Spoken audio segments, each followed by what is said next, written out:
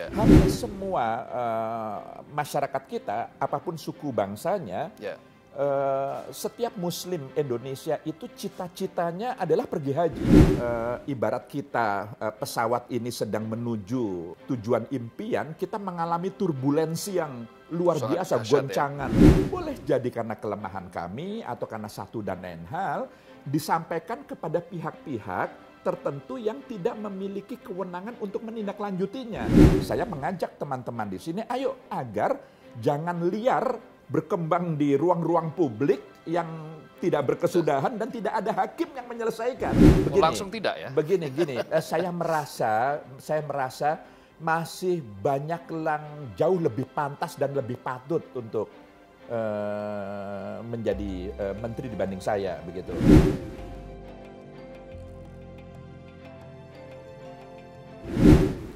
Jumpa lagi dengan saya Abdul Kohar di newsmaker medcom.id.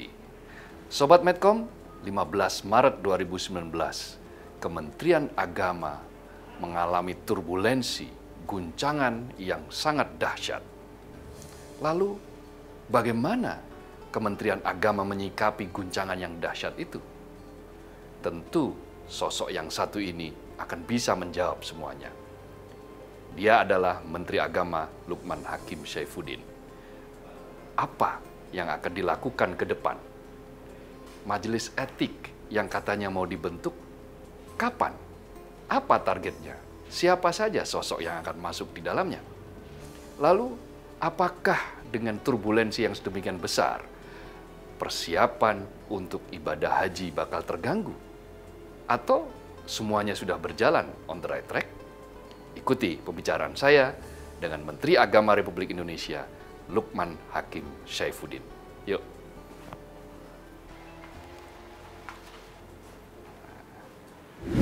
Sobat Medcom, sudah hadir bersama saya Menteri Agama Lukman Hakim Syaifuddin. Assalamualaikum Pak Menteri. Waalaikumsalam warahmatullahi wabarakatuh. Sehat, Pak Menteri? Alhamdulillah. Iya, alhamdulillah. waduh, kita tanpa terasa sekarang sudah Ya. bulan Rojab. Ya, betul. Sebentar lagi sudah diambang Ramadan. Ya, waktu cepat Waktu sekali cepat berlalu. sekali. Setelah itu biasa, Ya. haji. Betul. Nah, Ya. sebuah gawe besar dari Kementerian Agama yang selalu menjadi perhatian umat Islam khususnya Ya. di seluruh tanah air yang selalu luar biasa. Ya, Nah, kan kemarin sudah ditetapkan biaya haji betul. Ya. antara eh, pemerintah dan dan eh, DPR, DPR.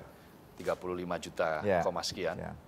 Nah, sementara di tengah di beberapa tempat tiket pesawat yang sedang mahal, Ya. harga minyak yang tidak stabil, harga aftur yang mengikuti tidak stabil. Apa nggak rugi angka segitu? Ya, ya tentu ini eh, penetapan biaya haji tahun ini memang tidak naik eh, serupiah pun dibanding biaya haji tahun lalu. Eh, apakah tidak rugi? Tadi Iya, pertanyaannya. iya. Jadi kami sudah mengkalkulasi bersama Komisi 8 DPR RI bahwa eh, biaya haji ini ditanggung tidak hanya dari biaya yang disetorkan oleh calon jamaah haji, Iya. tapi juga hasil eh, pengembangan nilai manfaat dari akumulasi dana haji yang Oh, sudah cukup lama, yang iya, sekarang iya. dikelola oleh BPKH, Badan Pengelola Keuangan Haji. Iya, iya, Jadi iya. karena ada nilai manfaat di sana, maka sebagian biaya haji itu juga bersumber dari nilai manfaat itu. gitu. Jadi, bukan bukan subsidi ya, istilahnya Iya, bukan subsidi dari istilahnya. dari APBN apa dari Ya, sebagian juga ada biaya dari APBN juga. Jadi yang terkait uh, petugas, keperluan-keperluan petugas haji Ya. itu sebagian besar di cover oleh uh, APBN. Oh, begitu. tapi kalau dari jamaahnya tadi eh, manfaat tadi ya. Ya, dari nilai dana, manfaat nilai dari manfaat. akumulasi dana yang bertahun-tahun karena jamaah itu kan ngantri eh, Ya, lama. ya, ya, betul. Tentu ketika itu disimpan di bank ada nilai manfaat Ya. yang diperoleh Ya. dan dari situlah lalu kemudian bisa untuk menutupi eh, keperluan-keperluan biaya haji itu. Sebetulnya berapa sih eh, eh, Pak Menteri eh, biaya haji yang Normalnya. normalnya? Normalnya itu sekitar 62 sampai 63 juta, Juta, rupiah. ya? Nah, jadi eh, bahkan eh, bisa 6 sampai 64 begitu ya. Oke. Jadi eh, itu karena tergantung dengan eh, fluktuasi nilai eh, dolar ya. ya, karena kan eh, lebih dari 95 persen biaya haji itu dibayarkan uh, dengan valuta Komponen asing, ya, ya, ya. dengan rial atau dengan uh, dolar Ya, begitu. ya. Nah, tapi jamaah hanya membayar 35 juta sekian, Ya, eh, tidak ya. sampai 36 juta. Oke. Nah, selebihnya tadi itu ditutup dari sebagian oleh APBN, sebagian oleh eh, nilai manfaat yang eh, bisa dihimpun karena pengelolaan BPKH begitu. Nah, kalau kita bandingkan dengan negara tetangga ya. Ya. Orang kan orang kita kan juga suka membandingkan dengan Ya. negara tetangga. Dengan biaya yang sebetulnya hanya 50% dari Ya. ideal itu, Ya. eh, kita termasuk yang sangat kompetitif atau tidak? Iya, jadi ini tentu bukan ria, bukan untuk sombong atau Iya. merasa jumawa. Ini tahadus binikmah. Ini adalah rasa syukur kita eh, bahwa ini perlu kita sampaikan. Alhamdulillah, biaya haji Indonesia itu yang termurah dibanding negara-negara lain yang sekawasan. Malaysia dibanding misalnya. Malaysia, Brunei, apalagi Singapura, Iya. Thailand, kita yang paling murah. Eh, Malaysia hampir sama dengan kita, tapi tetap jatuhnya lebih mahal. Hmm. Malaysia juga sebagian ditopang oleh tabung haji, Ya. karena tabung haji itu kan diinvestasikan untuk macam-macam. Ya, Jadi ada nilai manfaat. dan Ya, ya. Ada nilai manfaat dari tabung haji yang juga digunakan untuk membiayai haji. Ya. Namun demikian tetap yang termurah kita karena dari 35 juta koma sekian eh, yang dibayarkan oleh jamaah, Ya. jamaah tetap mendapatkan 1.500 real sebagai living cost. Jadi uang saku jamaah Ya, ya. dari eh, biaya haji yang distorkan itu dia menerima lagi sekitar 400 US dollar, tepatnya 1.500 Saudi real Ya, untuk eh, biaya hidup selama di tanah suci. Ya, ya. Jadi sebenarnya kalau dikurangi dengan uang sakunya itu lebih, Lebih eh, rendah kecil, lagi ya? kecil lagi. Jadi itulah kita eh, syukuri bahwa kita sebenarnya yang termurah biaya haji kita. Nah, apakah itu kemudian salah satunya yang membuat eh, pendaftar haji membeludak? Iya, Lalu kemudian eh, antrian betul. eh, waiting list menjadi Ya, relatif panjang, Ya. Hmm. meskipun kuota kita sudah besar. Ya. Nah, tetapi jarak masih di angka ada tujuh tahun, Ya. sembilan tahun, Bahkan 11 puluhan tahun, ya. puluhan tahun. Ya, ya. Nah, ini ini apakah karena murahnya seperti itu atau apa? Ya, boleh jadi karena itu, tapi eh, saya lebih melihat ini karena persoalan, bukan persoalan, ini karena pemahaman keagamaan masyarakat kita semakin membaik. Oh, Jadi tingkat ketaatan masyarakat kita semakin baik. Ya. Hampir semua eh, masyarakat kita, apa pun suku bangsanya, Ya. eh, setiap Muslim Indonesia itu cita-citanya adalah pergi haji. Ya. Jadi Puncak ya. lihat eh, petani-petani kita di Iya. mau di Madura atau di eh, Sulawesi atau di Kalimantan di mana cita-cita mereka itu adalah bisa berhaji. Jadi Hmm. haji itu sesuatu yang merupakan ibadah yang luar biasa maknanya. Ya. Eh, Dan inilah yang lalu kemudian menjadi daya tarik tersendiri betapa haji itu eh, yang lalu kemudian orang yang menunaikannya itu lalu kemudian sekepal, sekembalinya di tanah air dari Ya. tanah suci Ya. mereka memiliki predikat sosial yang eh, Berbeda ya, berbeda lebih- lebih semakin naik-naik gitu ya. dipanggil Pak Haji, Bu Ya. Haji, lalu Ustaz. itu betap itu sesungguhnya apresiasi Ya. eh, masyarakat kita terhadap mereka-mereka yang berkesempatan eh, berhaji itu. Jadi Ya. eh, menurut hemat saya ini eh, salah satu daya tarik meskipun tentu bukan satu-satunya. Dan itu positif-positif saja. Sangat positif Sangat karena positif. dengan demikian eh, giroh atau semangat orang eh, mentaati ajaran agamanya itu eh, semakin baik dan tentu negara melalui Kementerian Agama wajib untuk memfasilitasi ini Nah, semua. i- bicara soal fasilitasi kan Hmm. akhirnya kan kita bicara juga kuota. Betul. Kuota kita sudah dinaikkan. Ya. Masih ada peluang untuk menambah lagi atau tidak? Ya. Sebenarnya begini, kalau peluang itu terus kita ikhtiarkan Ya. dan itu masih tetap terbuka. Ya. Saya eh, optimis itu bisa dilakukan. Tapi untuk konteks saat ini, kondisi sekarang, eh, menurut hemat saya itu bukan prioritas utama untuk menambah kota.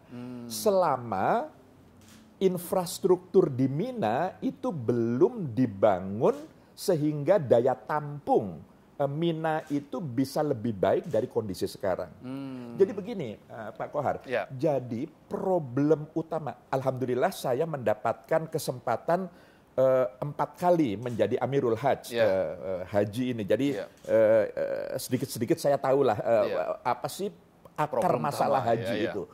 Haji itu problemnya itu di Mina sebenarnya. Hmm. Karena di situ tempat yang menurut syar'i, menurut ketentuan agama, itu tidak boleh diperluas ke samping.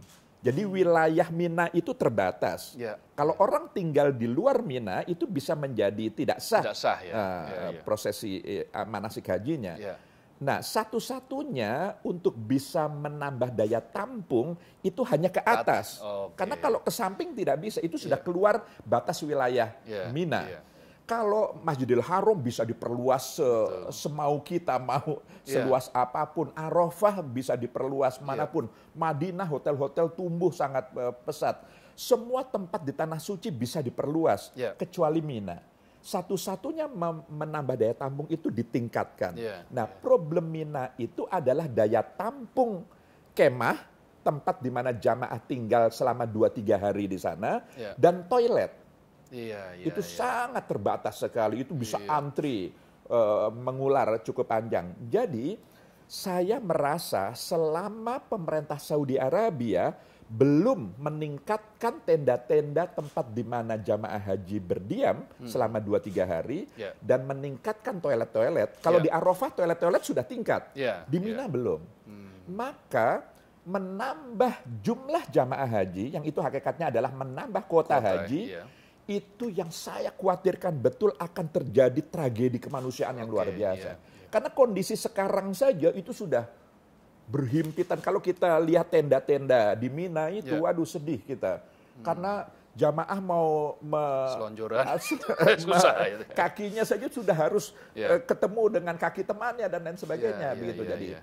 Oleh karenanya saya sudah selalu ber, eh, eh, menyampaikan kepada Menteri Haji Saudi Arabia Iya. baik tertulis resmi maupun berbicara dalam pertemuan resmi agar pemerintah Saudi Arabia betul-betul memprioritaskan eh, peningkatan daya tampung. Sudah Eh, berapa kali di bersurat atau atau sam- disampaikan lah? Seingat saya tidak kurang dari tiga kali ya. lebih ya? Se- eh, sekitar tiga kali lah ya. Iya, jadi- Dan responsnya sebetulnya Ya, beliau sangat Memahami, berterima kasih dan sangat bisa menerima karena memang Ya. itu masalahnya.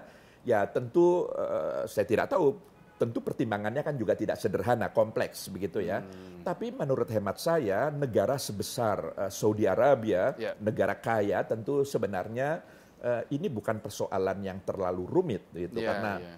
karena memang eh, kita bisa melihat betapa semua orang tidak kurang dari dua setengah juta Iya, itu pada waktu yang bersamaan kumpul di sebuah wilayah yang sebenarnya sangat terbatas Hmm. dan mereka harus tinggal di tenda-tenda pada fasilitas yang sangat terbatas pada puncak kelelahan yang luar biasa Iya. karena mereka sudah melalui proses, Proses, ya. eh, menjelang wukuf Iya. dan ketika di wukuf itu juga eh, puncak kelelahan di sana dengan terik matahari yang luar biasa Iya. lalu kemudian Musdalifah lalu kemudian ketika di Mina mereka juga tidak leha-leha jamaah haji tidak eh, duduk-duduk di dalam tenda Iya. setiap hari mereka harus menempuh jarak kiloan meter menuju Jamarot untuk Iya, melontar iya, melontar jumroh. jumroh, ya. Jadi itu memang puncak.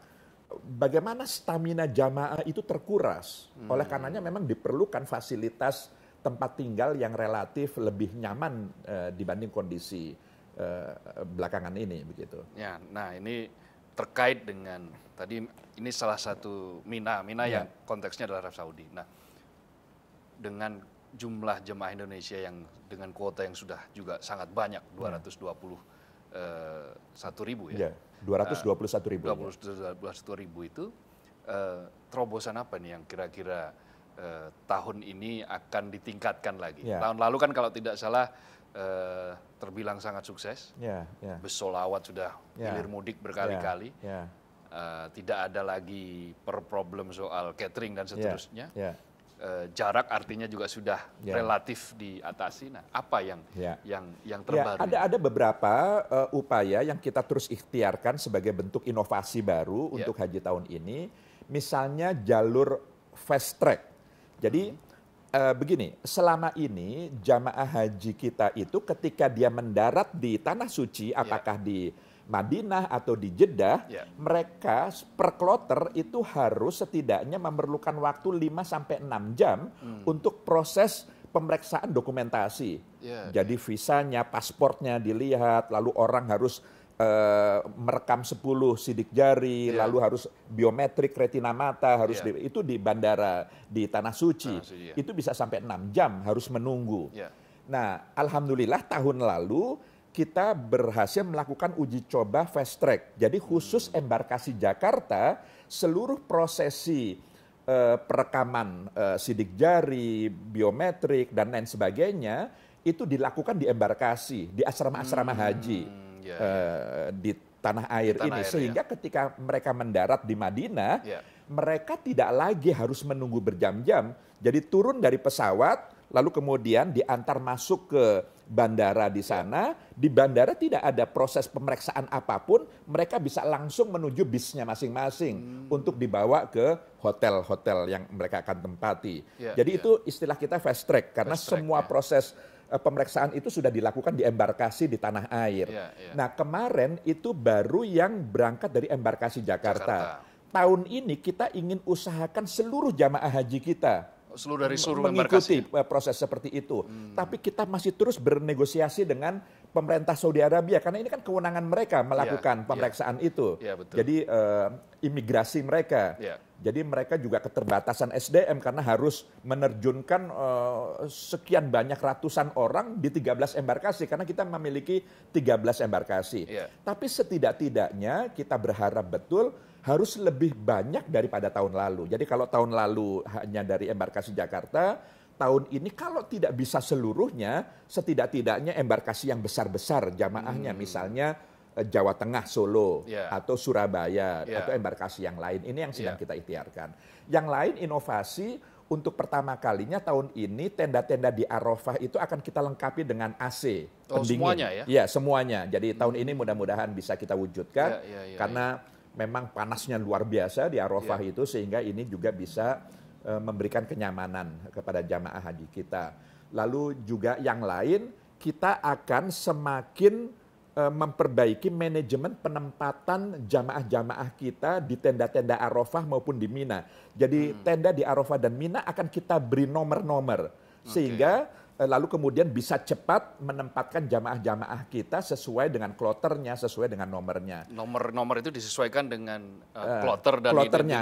Kloter, Jadi ya? kalau satu kloter itu kan ada sekian rombongan, yeah. ada sekian regu. Yeah. Jadi regu ini, rombongan ini, kloter ini, ini ketika di Arafah dia pakai tenda di maktab sekian, nomor sekian. Okay. Karena kalau tidak pakai nomor memang agak sulit juga karena yeah. sama semua kan betul, tenda itu. Betul juga tentang eh, pengkodean eh, bagasi-bagasi koper-koper jamaah. Hmm. Jadi kita uh, sudah kita uh, ikhtiarkan tahun yeah. ini uh, jamaah ketika tiba di bandara, apakah Madinah atau Jeddah, dia tidak perlu lagi mengurusi kopernya karena koper akan dikelola oleh petugas tersendiri sampai lalu kemudian ada di hotelnya masing-masing. Yeah, yeah, Sehingga yeah. lalu kemudian perlu pengkodean uh, koper-koper itu tidak hanya berdasarkan warna tapi juga nomor-nomor tertentu yeah. sehingga dengan demikian uh, tidak ada yang kesasar uh, koper milik kloter ini yang seharusnya di hotel sana yeah. tapi dibawa ke hotel lain itu uh, tidak boleh terjadi, terjadi sehingga pengkodean uh, koper ini semakin ketat kita lakukan. Jadi itu beberapa inovasi-inovasi poinnya adalah bagaimana agar jamaah semakin meningkat Eh, kualitas uh, kenyamanannya dalam uh, mengikuti rangkaian prosesi haji yang sangat panjang ini. Nah, artinya kan kayak tadi misalnya memberikan AC pada setiap yeah. tenda kan sebetulnya bisa. Hmm. Nah, tahun-tahun sebelumnya kendalanya apa itu? Ya, tahun-tahun yang kemarin karena kita uh, apa improve apa pengembangannya, peningkatannya itu kan bertahap.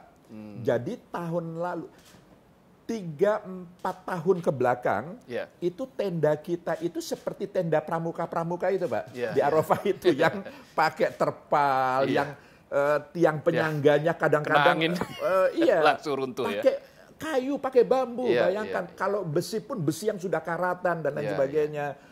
Jadi uh, karpetnya, hambalnya juga yang sudah sangat lusuh, mungkin usianya sudah belasan tahun Iya, gitu. iya. Nah, sejak dua tahun yang lalu, seluruh tenda-tenda kita sudah seragam, sudah kokoh dengan besi baja, Iya. eh, tiang-tiang besi baja yang kuat, tahan api, tahan terpaan eh, badai angin. Alhamdulillah kemarin misalnya badai angin yang cukup keras, alhamdulillah tidak ada satupun tenda kita yang roboh. Sebelumnya dua tahun sebelumnya beberapa tenda kita roboh gitu Ya, karena ya. memang kondisinya seperti itu. Nah, sebenarnya pengadaan AC itu tahun lalu, tapi karena lalu kemudian eh, lagi-lagi anggarannya ini akan Ya, membengkak, Eh, konsekuensinya terlalu besar sehingga lalu kemudian kita bertahap Eh, dan alhamdulillah tahun ini eh, Tahun ini pengadaan sudah AC di- itu bisa sudah semuanya ya? Ya, semua, seluruh, Semua, seluruh. seluruh tenda, seluruh jamaah ya. Sudah sudah pakai AC. Mudah-mudahan tidak ada kendala. ya. Oke, jadi kita berharap 2019 ini insya Allah, Insya Allah eh, proses haji berhasil. semua sudah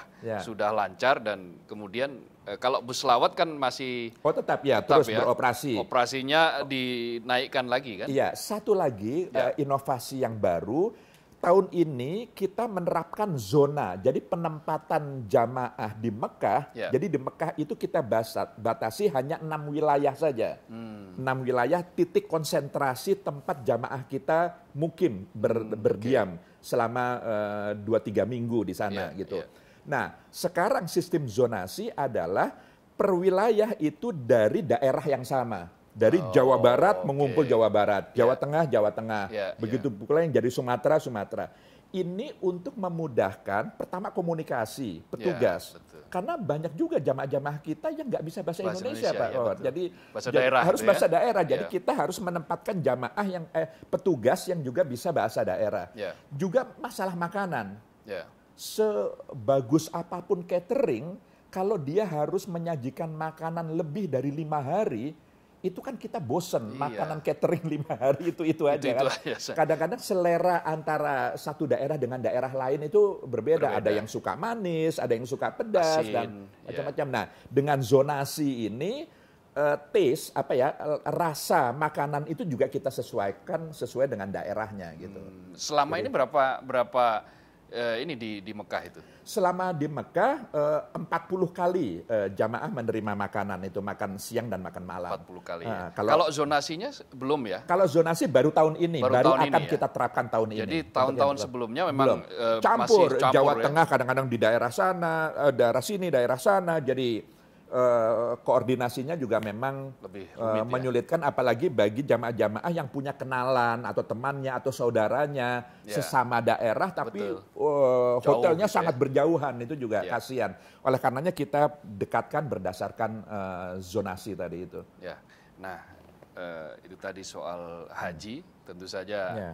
eh, kita berharap semakin baik dan Ya. yang, yang insya Allah semakin baik kalau kita lihat dari 2018 sudah Ya. oke, sudah semakin bagus. Nah, sekarang bahkan ada inovasi-inovasi yang tadi Ya. itu, eh, insya Allah lancar. Nah, ini Amin. sekarang kita mau berbicara agak lebih Hmm. eh, menukik lagi terkait dengan ya isu yang mutakhir lah. Hmm. Eh, beberapa pihak yang ini bukan khas Hmm. di salah satu institusi, di beberapa institusi tentang isu jual beli jabatan dan Oh. seterusnya. Oh, Yang- jadi ini ini ganti topik kita ya. Kalau kalau ganti topik saya bisa sambil Oh, menikmati ini. Ya, ya. Kita minum Oke, dulu Silakan silakan silakan. Sekarang kan eh, lagi lagi booming isu itu. ya, ya. Pak Menteri akhirnya merespons dengan menjanjikan akan membuat semacam dewan etik. Ya. Kira-kira gi- gimana itu proses ininya gimana? Jadi memang eh, kami ini 3-4 tahun terakhir ini di Kementerian Agama sedang eh, semangat-semangatnya, sedang gencar-gencarnya, Ya. serius-seriusnya untuk melakukan reformasi birokrasi dalam tubuh Kementerian Agama yang sebenarnya sangat besar sekali. Ya. Inilah kementerian yang paling banyak jumlah satuan kerjanya, tidak kurang dari 4.590 Oh. satker. Bahkan saya sering berseloroh kepada ASN, ini tidak hanya terbesar di Indonesia, di dunia. Tidak ada institusi, instansi pemerintahan Satuan yang kerjanya- satuan kerjanya sampai 4.590. Instansi yang lain Jumlah itu rata-rata berapa ya? Bagaimana, Mungkin ins- Instansi yang lain yang yang paling banyak itu yang paling banyak misalnya Polri yang paling besar karena Iya. Polri itu sampai tingkat Polsek kecamatan tuh ya, kan itu juga tidak lebih besar daripada kita Iya, Iya, iya, eh, betul. hanya tiga ribuan eh, sekian. eh, mungkin kita dalam. Jadi apalagi kementerian yang lain Iya, jauh hi- mungkin hanya belasan saja jumlahnya Hmm, begitu. iya. ASN kita tidak kurang dari 235 ribu eh, ASN. Jadi memang ini besar Iya. sekali. Nah, kita sedang eh, semangat-semangatnya melakukan reformasi birokrasi, melakukan eh, penegakan eh, disiplin, eh, peningkatan integritas dan sebagainya. Ya. Tapi lalu kemudian kita eh, terkena peristiwa 15 Maret eh, kemarin itu. Ya. Yang saya mengatakannya ini adalah eh, ibarat kita eh, pesawat ini sedang menuju apa tujuan impian, kita mengalami turbulensi yang luar Sangat biasa, ya. goncangan eh, yang luar biasa dan kita betul-betul memaknai goncangan ini sebagai sebuah pelajaran dan eh, peringatan yang sangat keras yang Oke. karenanya kita harus lebih bersungguh-sungguh lagi untuk eh, bagaimana lebih serius membenahi ini. Ya. Nah, oleh karenanya lalu kemudian isu yang mencuat itu kan karena lalu kemudian ada saja eh, pengaduan-pengaduan yang muncul dari masyarakat Ya. eh, itu mungkin karena boleh jadi karena kelemahan kami atau karena satu dan lain hal disampaikan kepada pihak-pihak tertentu yang tidak memiliki kewenangan untuk menindaklanjutinya Bukan aparat hukum, bukan aparat apa. hukum, bukan institusi bagian dari Kementerian Agama karena Iya. disampaikan kepada tokoh si A, tokoh si B, tokoh si C, lalu para tokoh-tokoh ini berbicara di ruang publik Hmm. Ya, ya. tanpa memverifikasi, tanpa mengkonfirmasi, Iya. mengklarifikasi apakah pengaduan-pengaduan yang datang dari masyarakat itu memang betul-betul dilengkapi dengan bukti-bukti yang kuat Ya. gitu. Nah, oleh karenanya kami betul-betul belajar dari pengalaman ini dan kami menganggap itu adalah kritikan yang harus kita eh, tindak lanjuti dan cara kita menyikapi dan menindaklanjutinya itu lalu kemudian saya mengajak teman-teman di sini ayo kita bangun institusi yang bisa mengkanalisasi menyalurkan pengaduan-pengaduan masyarakat ini agar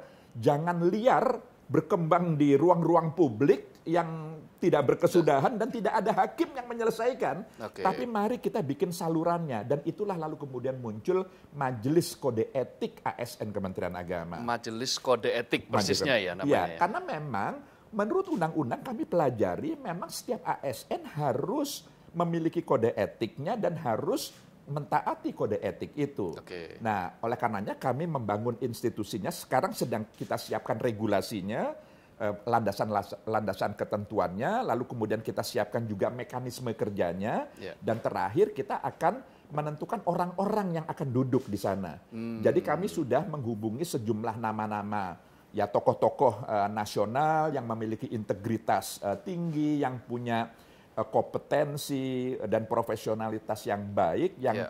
eh, diharapkan mereka lah yang akan duduk di majelis eh, kode etik ini Ya. untuk tadi itu eh, menerima pengaduan-pengaduan terkait dengan dugaan pelanggaran etik yang dilakukan oleh ASN Kementerian Agama. Ini dua hal yang memang berbeda dengan Inspektorat Jenderal. Ya. Jadi kalau Inspektorat Jenderal itu kan lebih penekanannya pada penegakan disiplin, penegakan aturan regulasi yang terkait dengan tugas mereka, kewajiban-kewajiban Ya, sebagaimana ketentuan. Jadi yang terkait dengan kinerjanya, Ya. terkait dengan eh, dugaan eh, pelanggaran eh, penyalahgunaan jabatan misalnya ya. atau korupsi dan lain sebagainya. Ya. Tapi kalau majelis etik ini lebih pada etikanya, pendekatan etik begitu. Hmm. Yang tentu batu ukurnya adalah kode etik itu sendiri. Ya. Eh, dan yang kedua adalah apakah tindakan-tindakan perilaku ASN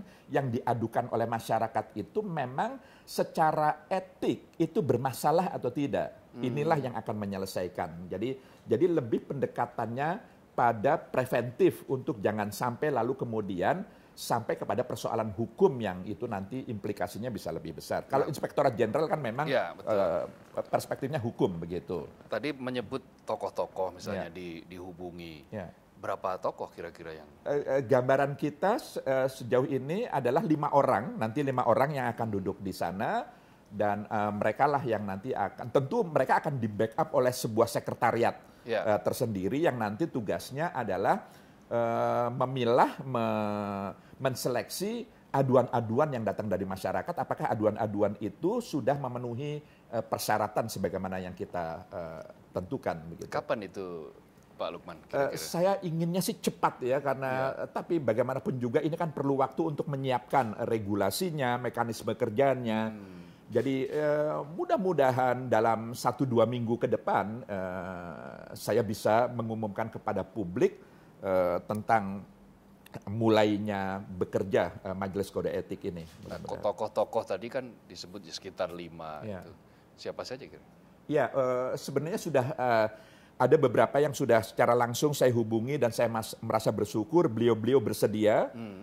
bahkan uh, mengatakan secara langsung merasa terhormat bisa berada di Majelis Kode Etik ini. Tapi Uh, saya mohon maaf sekali saya belum bisa menyampaikan pada saatnya nanti secara resmi, secara bersama-sama dengan yang lain. Nah, tokoh-tokoh ini kan uh, pasti sekarang dalam posisi yang tidak sedang uh, katakanlah misalnya ada yang sedang nyalek, ada Oh tentu, tentu tidak. tidak. Jadi kan? ini saya mengistilahkan mereka adalah tokoh-tokoh yang sudah selesai dengan dirinya sendiri. Oh, Jadi okay. yang mereka sudah tidak punya interest-interest, tidak punya kepentingan-kepentingan. Jadi memang yang track recordnya kita kenal, punya integritas tinggi, punya kepedulian terhadap negara bangsa yang luar biasa dan ya yang mudah-mudahan uh, tokoh-tokoh panutan kita lah gitu. Ya kalau seperti kayak kemarin kan kasus beberapa kasus kan sempat hmm. uh, ada salah satu tokoh yang uh, bicara keras tetapi sebetulnya uh, dia masih dalam on the right track hmm. seperti kayak Pak Mahfud MD. Hmm. Apakah kayak Pak Mahfud MD itu masih punya kesempatan kira-kira kalau prinsip dasarnya adalah kita tidak pernah menilai kritikan sekeras apa pun yeah. itu sebagai sesuatu yang ingin me meruntuhkan semangat kita. Hmm. Saya mengajak teman-teman di sini untuk mari kita mensikapi kritikan sekeras, setajam, sebesar apa pun ya. itu sebagai sesuatu obat buat kita. Hmm, jadi, jadi tangkap esensinya, lalu kemudian dengan uh, kritik itu kita harus lebih bangkit lagi. Jadi artinya tidak tidak soal ya meskipun uh, tidak soal. Jadi Prof Mahfud misalnya. Ya tentu sebagai manusia biasa saya bisa memaklumi sebagian teman-teman uh, di sini mungkin ya merasa terluka juga ya karena manusia biasa kan punya ya, perasaan ya, juga ya, kan dengan ya. cara-cara mungkin dengan pilihan kalimat atau diksi kosakata yang tidak pas. Tapi ya. saya selalu mengajak eh, teman-teman di sini sudah jangan terlalu risau atau hero dengan yang hmm. permukaan seperti itu. Ambil esensinya, ambil uh, inti dari apa yang uh, beliau-beliau itu sampaikan sehingga kemudian kita bisa berbenah lebih serius. Ya kalau anak milenial sebut jangan baper lah. Jangan baper, nah, betul. Itu, jadi betul. Uh, uh, ya. itu satu dua minggu nah. Lalu kemudian kan tadi nama-nama dan seterusnya. Hmm. Kode etiknya sendiri Ya, jadi apa? kita bersyukur kita Kementerian Agama sudah memiliki kode etik meskipun oh, itu disusun tahun 2000 eh, 2004 kalau tidak salah ya, hmm. sudah cukup lama. Eh, jadi kita sedang eh, melihat lagi itu sambil uh, menyempurnakan uh, yeah. di sana sini ya. sesuai yeah. dengan konteks uh, kekinian kita dan yeah. tentu dengan menangkap uh, aspirasi yang berkembang uh, dari masyarakat ya. begitu. Yeah. Jadi uh, perangkatnya sudah tersedia. Yeah. Tinggal nanti penyesuaian-penyesuaian aturan tadi itu ya. regulasinya ya. dan mekanisme kerjanya mekanisme kerjanya. Nah, dan. tadi kan sempat mengatakan bahwa ya ini nanti akan mengkanalisasi beberapa hmm. misalnya kalau ada persoalan-persoalan etik. Yeah apakah tidak banyak pekerjaannya nanti setiap hari misalnya kalau hmm. itu nanti sampai menyentuh pada semua, semua lapisan ASN, ya, ASN. Iya, iya. Jadi tentu nanti akan kita buat mekanisme kerjanya, ya. termasuk di dalamnya adalah kriteria syarat-syarat bentuk aduan seperti apa yang hmm, bisa ditindaklanjuti. Ya, ya, tentu ya. tidak semua aduan, ya, uh, surat ya, kaleng atau apa harus ada alat bukti yang ya mengadukan harus bersedia diverifikasi, yeah. didatangi untuk di apa dimintai apa bukti-bukti. Jadi supaya uh, majelis etik ini juga bisa menindaklanjuti uh, aduan-aduan itu gitu. Nah, tadi dikatakan uh, apa namanya me me menindaklanjuti dan lalu hasilnya ya. nanti kalau ini akan menjadi seperti apa? Ya, pertama tujuan utama dari majelis kode etik ini adalah tadi itu aspek preventifnya Oh, Jadi dugaan-dugaan yang disampaikan masyarakat sedini mungkin ini bisa di stop kalau memang itu terbukti. Hmm. Eh, jadi bisa di stop dengan cara didalami oleh sebuah majelis etik ini. Yang kedua juga sebagai alat kontrol kita. Hmm. Karena kan kita sendiri merasa kita tidak mampu untuk bisa melihat seluruh satuan kerja kita dan ASN kita yang sangat besar. Ya. Maka masyarakat menjadi sesuatu yang sangat penting untuk menjadi mitra kita ketika mereka menyampaikan pengaduan-pengaduan Ya. sehingga lalu kemudian kontrol dari masyarakat ini sebagai kontrol sosial Ya. itu juga dalam rangka untuk membenahi institusi Kementerian Agama ini. Nah. Pak Menteri kan eh, ini kan sebuah kira-kira sebuah jawaban lah ya, Ya. solusi atas eh, beberapa kritik. Ide untuk membentuk ini dari mana? Murni dari Pak Lukman sendiri atau ada beberapa Ya, sempat ada beberapa saya usulan? bersyukur, saya amat sangat bersyukur di Kementerian Agama ini saya didampingi oleh staf ahli saya, staf khusus saya, para pejabat eselon 1 Ya. eh, yang punya komitmen yang luar biasa untuk membenahi Kementerian Agama ini. Ya. Jadi eh, menjawab pertanyaan tadi ini, ini idenya dari mana? Idenya dari kita semua. Jadi setelah peristiwa 15, 15 Maret, Maret ya. itu yang Ya. merupakan pelajaran dan peringatan yang sangat keras bagi kita, Ya. kita sering eh, berdiskusi lalu kemudian kita saling berbagi apa yang bisa kita lakukan, apa hikmah yang bisa kita eh, tindak lanjuti dan Ya. alhamdulillah lalu muncul Ide gagasan itu. itu. begitu. Dan Nah. setelah kita dalami regulasi peraturan perundang-undangan, oh ternyata ini ada eh, landasan eh, regulasinya gitu, landasan hukumnya ada. Ya. Jadi lalu kemudian kita semakin semangat untuk mewujudkan ini. Nah tadi kan Pak Menteri juga sempat menyebut kalau ada mungkin kritik dari tokoh yang sempat membuat luka itu yang Ya. manusiawi. Apa kira-kira nanti tidak akan ada penolakan misalnya kalau kalaupun toh ya nanti konteksnya masih baper-baperan tadi. Ya, ya. Eh, penolakan kalau ada sosok ah jangan inilah sosok tertentu ini. Penolakan terhadap tokoh yang duduk di majelis ini maksudnya. Maksudnya dari dari lingkaran Pak Menteri, Oh intern. intern dari sini. Ya, jadi saya eh, juga sudah melakukan sosialisasi internal di sini Ya. dan alhamdulillah sejauh ini tidak ada satupun yang resisten di internal ASN Kementerian Agama. Jadi Hmm. Ya, ya. semuanya memiliki cara pandang karena apa? Karena semua kita punya komitmen yang sama, Hmm. punya nawaitu, punya niat yang sama untuk institusi seperti Kementerian Agama yang merupakan warisan para pendahulu kita ini harus kita jaga bersama gitu. Iya, iya. Jangan hanya karena satu dua ASN, lalu kemudian institusi ini menjadi tercemar, apalagi menjadi runtuh. Ya. Ini sesuatu yang tentu tidak boleh terjadi. Ya. Nah, saya sekali lagi saya amat sangat bersyukur saya didampingi tidak hanya oleh pejabat-pejabat yang punya eh, komitmen besar, tapi juga ASN-ASN yang sebagian besar punya semangat yang sama. Jadi eh, sejauh ini tidak ada resistensi yang datang dari internal eh, Kementerian Agama. Nah, Pak Menteri kan ini misalnya kan digempur dari Hmm. kanan kiri. Eh, ada yang menilainya ini sebagai tadi Pak Menteri menanggapinya ini sebagai sebuah peringatan Ya, keras yang harus disikapi secara Hmm. hikmah ya, secara Ya. benar ini.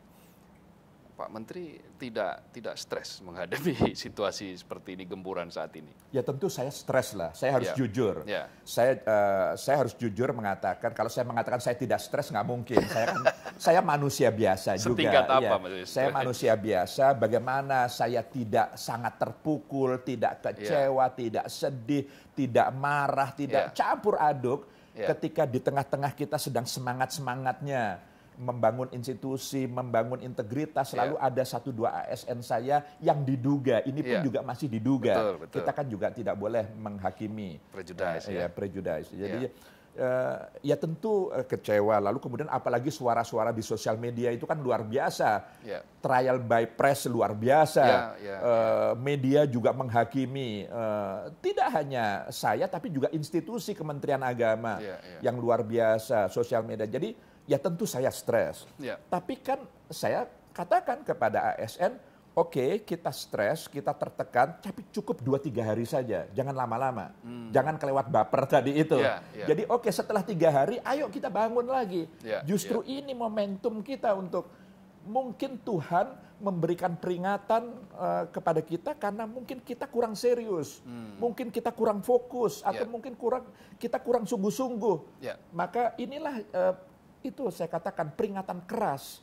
Jadi ini yang harus kemudian uh, membuat kita bangun untuk kembali uh, memperbaiki diri kita sendiri. Gitu. Nah dulu kan ayahanda hmm. Pak Saifuddin Zuhri hmm. uh, juga memimpin yeah, institusi yeah, ini. Yeah uh, ada jejak apa kira-kira yang yang kalau ditarik dari dulu yang yeah. sekarang yang mungkin ada benang merahnya ini dalam hmm. konteks bersih-bersih uh, Kementerian Agama ini. Kira-kira apa yang yang bisa legacy waktu dulu yang mungkin Pak Lukman masih ingat? Ya, uh, saya pikir semua menteri-menteri uh, agama terdahulu itu mereka punya titik-titik uh, persamaannya.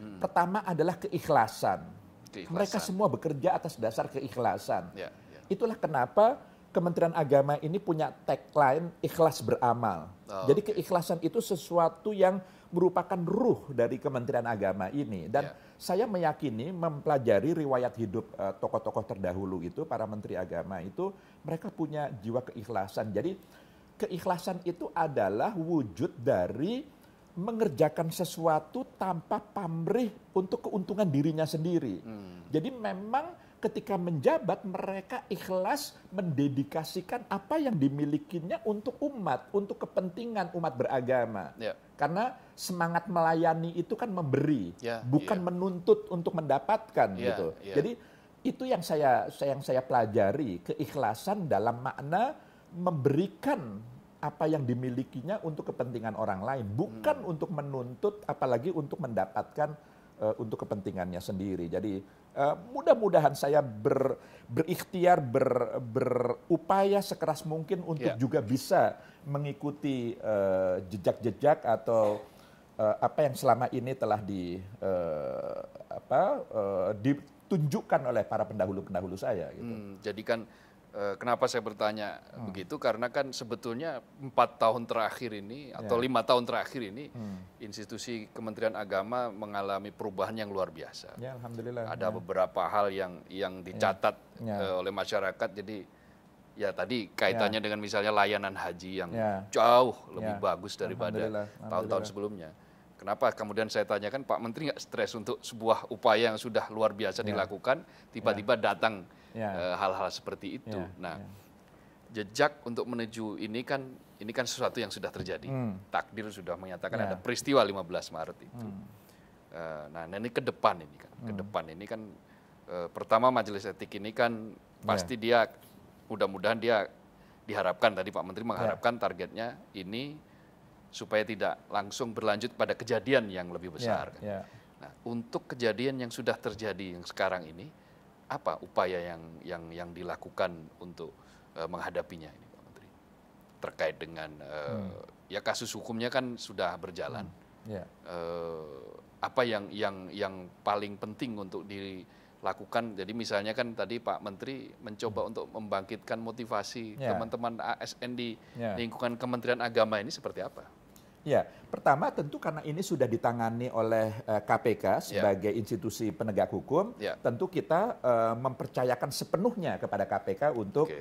uh, eh, memproses ini secara hukum, yeah. gitu. Biarlah nanti hukum yang uh, memutus perkara ini. Yeah. Nah, di Kementerian Agama sendiri, seperti yang saya katakan, mari kita jadikan peristiwa ini sebagai pelajaran yang sangat keras bagi kita bahwa uh, kita ini ibarat tadi saya katakan eh, pesawat terbang ini rute kita sudah benar. Yeah. Kita ini sudah on the track yeah. gitu. Jadi kalau ada turbulensi itu karena mungkin kita berada pada sebuah kondisi ruang hampa yang sama sekali tidak kita uh, prediksi, yang tidak kita perkirakan, tapi harus kita hadapi itu. Yeah. Jadi ini turbulensi dan turbulensi ini tidak akan selamanya. Hmm. Ini hanya sesaat saja. Pada saatnya kalau kita bisa melewati ini dengan baik, kita akan kembali mendapatkan ketenangan ya. sehingga yeah. kita bisa lebih memacu, bisa uh, lebih mempercepat uh, perjalanan kita menuju uh, tempat tujuan begitu. Nah, Pak Menteri sudah menyampaikan ini ke ke sampai pada level Iya, dalam acara-acara uh, uh, nasional yeah uh, di jajaran uh, Kakanwil, pejabat-pejabat di daerah, yeah. baik di jajaran Inspektorat Jenderal, saya selalu mengatakan ini bahwa mari kita uh, bangkit dan kita uh, harus lebih serius, harus lebih bersungguh-sungguh untuk uh, membangun institusi uh, tercinta kita ini. Gitu. Jadi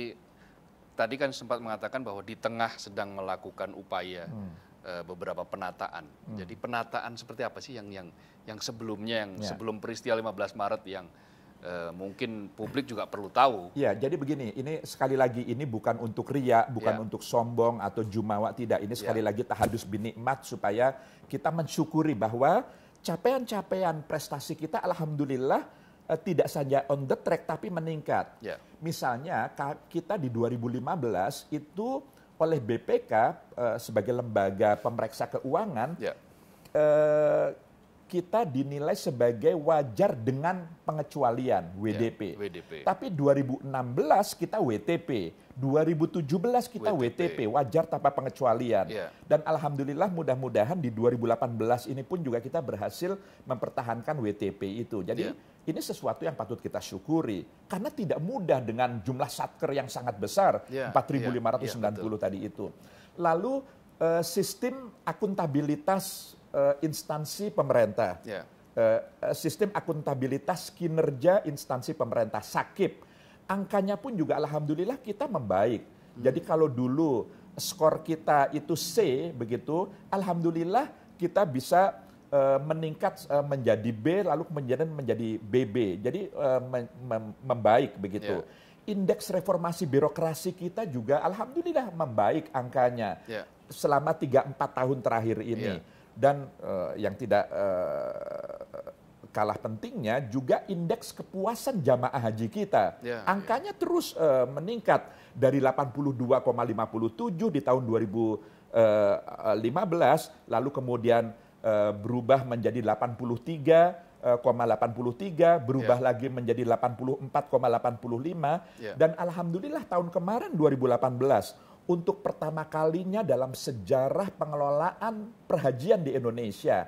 Angkanya mencapai 85,23. Itu artinya oleh BPS yeah. yang menyelenggarakan survei itu, yeah. indeks kepuasan jamaah haji kita itu masuk kategori sangat memuaskan. Artinya rentangnya kan dari 1 sampai 100 kan itu kan? Iya, iya. 1 sampai 100, 100 ya. artinya kalau... Jadi kita sudah di atas 85, sudah dianggap kategorinya sangat, sangat memuaskan. memuaskan ya. ya. Tentu ini sesuatu yang patut kita syukuri, tapi juga sekaligus ini sesuatu yang uh, menjadi kita harus semakin bersungguh-sungguh karena mempertahankan ya. uh, prestasi yang baik ini kan juga tidak mudah juga gitu. Hmm. Karena orang itu kecenderungannya selalu ingin meningkat, meningkat, meningkat terus gitu. Ya, jadi ya. Nah, jadi sekali lagi ini adalah uh, sama sekali bukan untuk sombong, tapi ini sekedar menjawab bahwa kita ini on the track loh. Yeah, Perubahan yeah. yang kita lakukan ini sudah menuju ke arah yang lebih baik. Yeah. Jadi kalau ada satu dua ASN kita, ada kasus-kasus ini, mohon uh, bisa difahami bahwa itu oknum, itu bukan kebijakan uh, institusi Kementerian yeah. Agama. Jadi ini ya maklum saja karena jumlah kita sangat banyak dan yeah. kita juga merasa kita belum sempurna, masih hmm. jauh dari kesempurnaan. Oleh karenanya peristiwa-peristiwa yang tidak kita harapkan itu harus betul-betul kita maknai sebagai sebuah pelajaran. Nah, gitu. nanti kata di majelis kode etik hmm. itu eh, dengan memilih sosok yang tepat, orang yang tepat, hmm. eh, kira-kira butuh waktu berapa lama untuk yeah. untuk bisa nanti kira-kira angka 85 itu bukan sekadar misalnya pelayanan haji, yeah, ya. tetapi lebih kepada semua soal yeah. akuntabilitas, transparansi dan Harapan saya majelis uh, kode etik ini tentu bisa permanen, bisa selamanya. Harapan saya, okay. karena ini kan never ending proses, yeah, kan? proses yeah. yang tidak berkesudahan upaya yeah. untuk. Poinnya adalah bagaimana agar aduan-aduan yang muncul dari masyarakat ini bisa ditindaklanjuti hmm. sesuai dengan prosedur yang uh, yang benar begitu. Yeah. Jadi tidak hanya mengisi ruang-ruang publik yang hanya menimbulkan kegaduhan saja, yeah, bahkan yeah. menjadi sumber fitnah yang nggak karu-karuan gitu. Yeah, yeah. Nah, oleh karenanya harapan saya mudah-mudahan ini bisa permanen dan sangat tergantung dari seberapa banyak aduan dari masyarakat yang bisa ditindaklanjuti dalam rangka untuk memperbaiki kinerja kita gitu.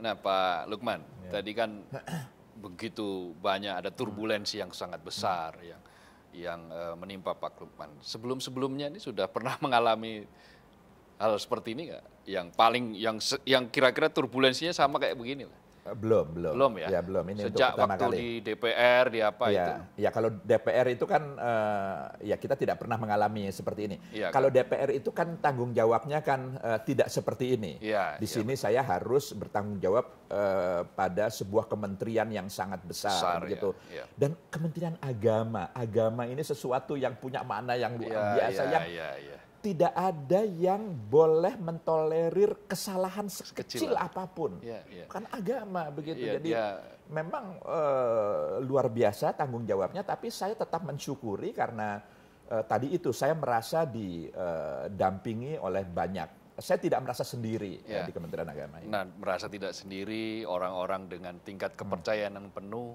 keluarga misalnya, Ya. Eh, keluarga memiliki dorongan apa terhadap Ya terhadap keluarga saya juga bersyukur eh, memiliki seorang istri, anak-anak yang selalu mensupport eh, saya, selalu Ya. mendukung eh, apa pun eh, kebijakan. Karena saya juga sering berdiskusi Oke. dengan istri, dengan anak-anak kalau saya mau mengambil kebijakan. Misalkan majelis etik ini, Ya, saya ya. diskusikan dengan anak-anak, dengan istri gimana kira-kira apa eh, yang kamu mau kritik, apa kekurangannya. Jadi saya Oh, Pak biasa Menteri biasa minta kritik juga dari keluarga ya? Hmm. biasa ya saya minta minta eh, mungkin ada pikiran yang saya nggak pikir Ya. eh, dan mereka pikir itu kan keuntungan buat saya saya bisa mendapatkan sesuatu yang saya nggak miliki Nah, tradisi kebiasaan ngobrol Hmm. dengan keluarga sampai persoalan yang dinas sekalipun. Itu dulu Pak Saifuddin Zuhri juga lakukan juga. iya, iya. Pak Pak Iya. Lukman masih Iya. seingat ya. ya saya masih ingat Ada ya. ada apa sesuatu apa yang kira-kira Pak paling Pak Lukman ingat? Iya, misalnya kaitannya dengan pesantren. Eh, dulu bagaimana eh, mem- mem- membangun pesantren dulu awal-awal akhir tahun 70-an, awal tahun 80-an, Ya. kondisi pesantren kan belum seperti sekarang. Ya. Itu awal-awal mula program-program pengembangan masyarakat itu masuk di pesantren-pesantren. Pesantren diperkenalkan dengan eh, koperasi, diperkenalkan dengan eh, pertanian, Ya. dengan pertukangan, Ya. dengan koperasi simpan pinjam, dengan eh, sesuatu yang eh, sama sekali baru eh, dunia pesantren dan itu tentu kan menimbulkan goncangan juga karena sesuatu yang baru itu kan pasti eh, menimbulkan pro dan kontra dan kita biasa me- me-. Waktu itu Pak Pak. Pak Saifuddin kan yang ide tentang pesantren membangun pesantren itu Pak Lukman diajak bicara. Enggak, sa- saya ikut saja ketika itu kan tentu saya masih Masih kecil masih ya? anak-anak tapi saya masih Melihat ya? ingat Ya. bagaimana beliau mengundang eh, beberapa kalangan juga kakak saya terlibat ya saya waktu itu hanya sekedar mungkin tukang catat atau tukang pendengar yang budiman saja gitu kan. Nah, Ada- Apa sih eh, yang yang kesan yang paling mendalam buat Pak Lukman dari dari ayahanda Pak Saifuddin Zuhri? Waduh, ini berat nih pertanyaannya. Iya, eh, banyak sekali tentu kesan saya Iya. eh, terhadap beliau karena Iya. beliau eh, ayah saya juga idola saya gitu.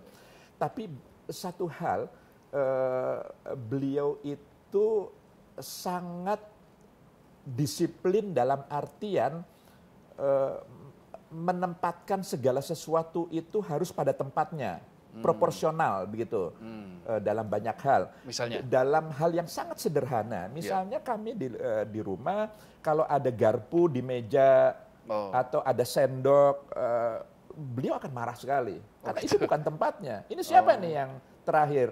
Misalnya ada gunting habis pakai taruh aja geletak di atas meja, nggak di tempatnya tempatnya kita punya ada laci tersendiri. Iya, iya. Beliau akan marah sekali. Jadi kalau ada sesuatu barang yang tidak pada tempatnya, itu dia akan tanya ini siapa terakhir yang menggunakan ini? Kenapa nggak dikembalikan lagi ke tempatnya? Misalnya begitu. Iya. Sampai kepada hal-hal yang sifatnya lebih uh, Lebih besar, gitu ya. Ya, Ya intinya proporsional betul. ya. ya. Nah, Pak Lukman ini kan kita menjelang perhelatan politik dan Pak Lukman menjadi menteri kan sebagian pada era Pak SBY. Ya, Nah, sekarang eranya Pak Jokowi.